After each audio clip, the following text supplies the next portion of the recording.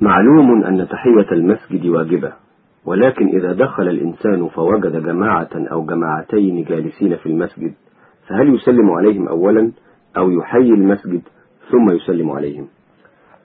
يقول النووي في كتابه الأذكار المنتخبة من كلام سيد الأبرار يقول السنة أن المسلم يبدأ بالسلام قبل كل كلام والأحاديث الصحيحة وعمل سلف الأمة وخلفها على وفق ذلك مشهورة.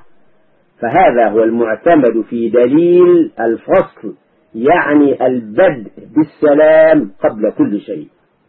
ثم قال النووي وأما الحديث الذي رويناه في كتاب الترمذي عن جابر رضي الله عنه قال قال رسول الله صلى الله عليه وسلم السلام قبل الكلام فهو حديث ضعيف.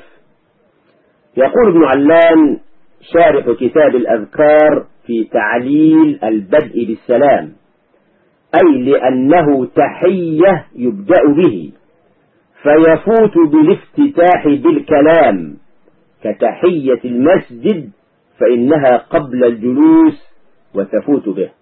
يؤخذ من هذا أن الداخل للمسجد الذي فيه شخص أو جماعة مطلوب منه سنتان تحية المسجد وتحية المسلمين فبأيهما يبدأ؟ فلو صلى تحية المسجد فلا معنى لتحية المسلم بالسلام بعدها لأنها فاتت.